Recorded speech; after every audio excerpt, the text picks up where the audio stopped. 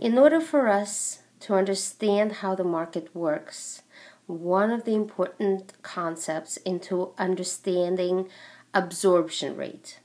Absorption rate is, for uh, an easier way to explain it, imagine that you have a grocery carriage. And you're in the grocery store, your carriage is full of groceries, and you're ready to basically check out.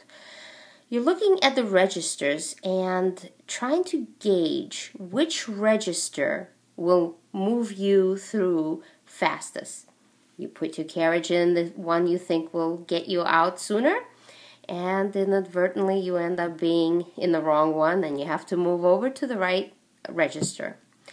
Now imagine that instead of food, your grocery carriage has your house, and you're trying to sell your home and you're gauging the registers to see which one will get you through the home uh, through the process fastest. The uh, checkout girl is actually your buyer, and what is she's doing? She's buying the homes at a certain rate that are already in front of you. They're already on the market, and you're gauging where you need to position your property, and that is your price bracket to get through the market as fast as possible.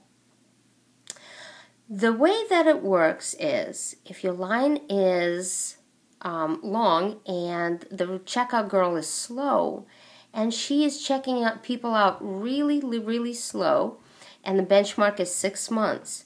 If it's going to take six months for you to check out through the house or longer, then it is a buyer's market. And the buyers have more say in negotiations. If it is less than six months, then it is a seller's market. There's less homes, the line is shorter, you're going to get your price or close to it or more, and you're going to get through that line faster. That is the concept of absorption rate. So, when you're looking at an absorption rate for your property, you need to know a few facts the first thing you want to know is how many available homes are going to be there for the buyers looking at your particular price point. For example, if you're selling a home in Holden, you might consider having to look at Holden and maybe five miles out because most people are not looking at just one town. You would then say, hey, my house is worth about 225 then you probably would want to look at what buyers do between 200 and 250. At that point, you want to see how many houses are available. It could be single family, multifamily, and condominiums because a lot of buyers will search different style of homes between 200 and 250 within the 5 mile radius of Holden. And you get that number. Then you want to see how many properties sell. So what you want to do is look at the most uh, closest market to you, which is 90 days or three months. You find out how many properties in the five mile radius between 2 and 250 sold in the last 90 days.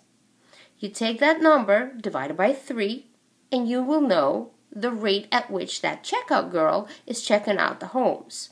So let's say you had three properties sold in the last 90 days, to make the math easier, that means that the checkout girl is checking out one property a month. So that way, you know that if there are, um, say, nine properties ahead of you, it's going to take nine months to sell those properties. And that will make it a buyer's market. I hope you enjoyed this uh, information and found it helpful.